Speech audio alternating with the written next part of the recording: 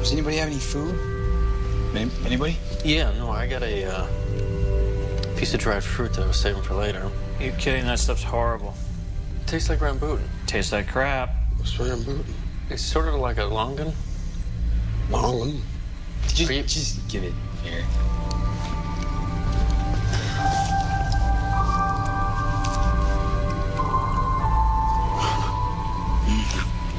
Good.